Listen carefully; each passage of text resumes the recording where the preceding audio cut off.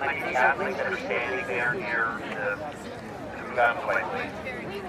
All guys that are built an athlete standing right there. Back up. On your mark.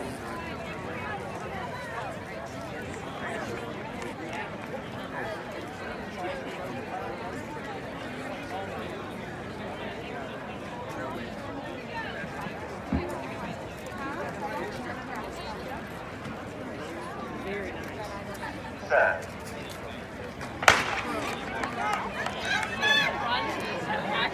Worst comes to worst, yeah.